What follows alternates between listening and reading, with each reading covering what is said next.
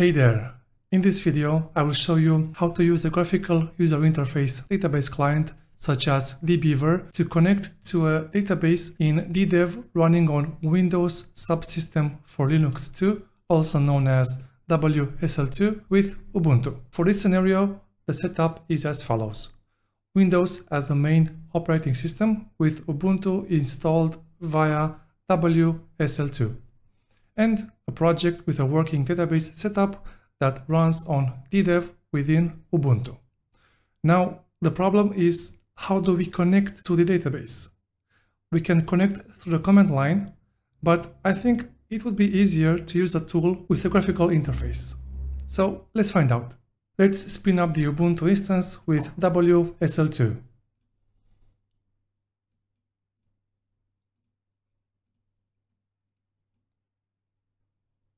For this tutorial, we'll use dbeaver. There are several ways you can install it. You can go to dbeaver.io slash download to check them all, but I'll keep it simple and install the community edition via Snap.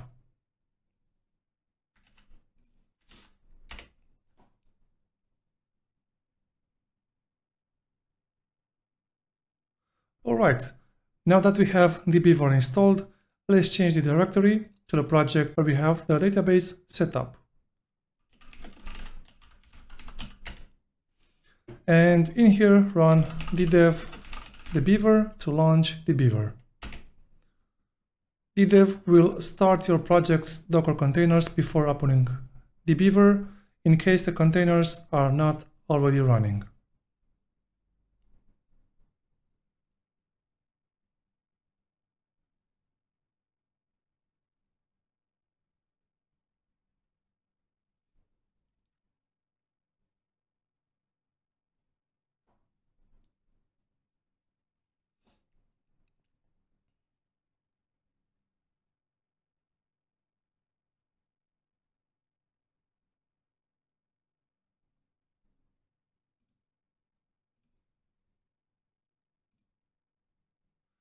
Most likely, dbeaver will ask you to install the drivers for your database.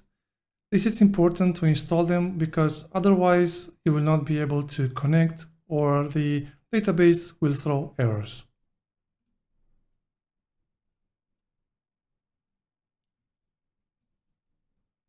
Alright, now you can notice that the application is launched through Ubuntu and ddev has already configured the connection for us. Let's go ahead and inspect the database. Let's open this migrations table. Let's add something just to test out that this is working properly.